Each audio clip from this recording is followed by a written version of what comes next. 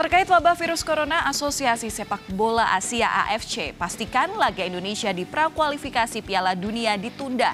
Menyikapi hal ini, Ketua Umum PSSI Muhammad Iriawan menerima dan berharap publik memaklumi. Merebaknya wabah virus corona berimbas pada jadwal laga prakualifikasi Piala Dunia ditunda, termasuk Indonesia. Keputusan ini merupakan hasil emergency meeting Asosiasi Sepak Bola Asia AFC yang digelar 2 Maret lalu. Timnas seharusnya jalani laga melawan Thailand pada 26 Maret, namun bergeser menjadi 8 Oktober mendatang.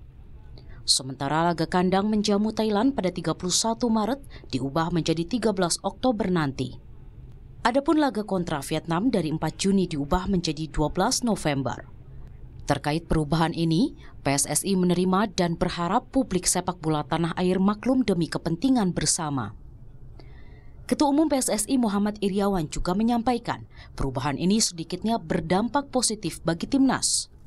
Sebab pelatih Sinteyong memiliki waktu lebih panjang untuk mengamati pemain terbaik. Melihat perbandingan liga-liga satu di seluruh kota akan melihat mana kira-kira pemain-pemain yang akan di hire nanti. Ya alhamdulillah di lain sisi ada penundaan tapi di lain sisi kita ada penguntungan waktu untuk Sinteyong lebih fokus kepada pemain-pemain yang akan dipakai nanti dalam timnas. Ya. Sudah komunikasi langsung dengan Sinteyong Pak? Kemarin hampir tiga jam kita diskusi masalah itu, termasuk perkembangan, termasuk tipikal, termasuk mental pemain, termasuk fisik pemain, kebahasan pemain, dan lain sebagainya. ya. Mengenai kompetisi nasional, PSSI hingga kini masih menunggu keputusan pemerintah. PSSI siap apabila nanti pemerintah mengimbau liga harus diselenggarakan tanpa penonton atau berhenti.